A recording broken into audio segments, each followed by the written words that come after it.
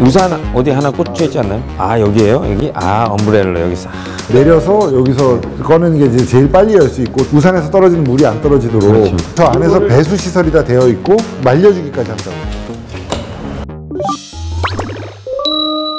제가 이거 가격을 들었는데요. 얼마예요? 납득할 수 없는 가격. 100만 원대라고요 우산?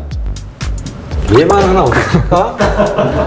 물어보지도 않았는데 형 차를 안 갖고 왔어 아 차를 차를 안 갖고 왔네. 아 정신이 진짜. 띵고